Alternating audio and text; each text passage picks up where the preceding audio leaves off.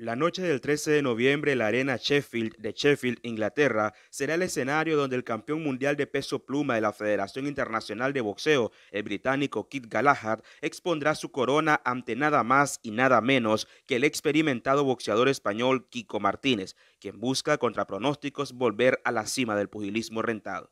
Para Galahad, cuyo récord es de 28 victorias con una derrota y 17 triunfos por la vía del knockout, esta será su primera defensa del título de las 126 libras que conquistó el 7 de agosto, cuando en 11 asaltos derrotó a James Dickens.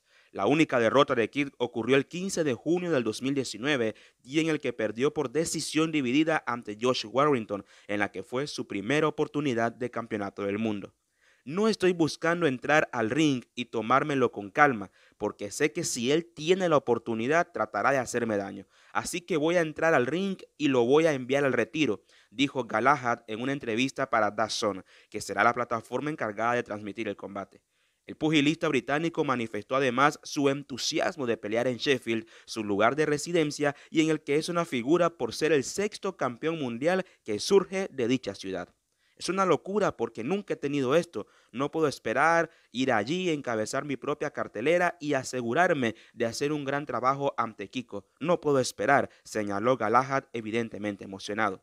Por su parte, Kiko Martínez, cuyo balance en el boxeo profesional es de 42 victorias, 10 derrotas y 2 empates, con el agregado de 29 éxitos conseguidos antes del límite, considera que puede dar la sorpresa y volver a saborear las mieles reservadas para los campeones mundiales.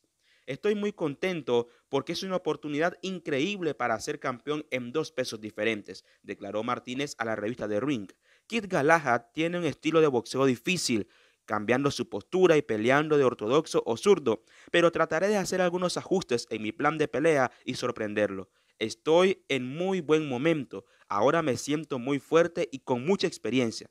Puedo ganar este combate, agregó el pugilista español, que espera la tercera sea la vencida, pues tras ser campeón de peso pluma junior de la FIB, ha fallado en parte ocasiones buscando el título pluma primero ante Leo Santa Cruz en el 2016 y luego ante Gary Allen Russell Jr. en el 2019. ¿Podrá contra Kid Galahad? Ya lo veremos.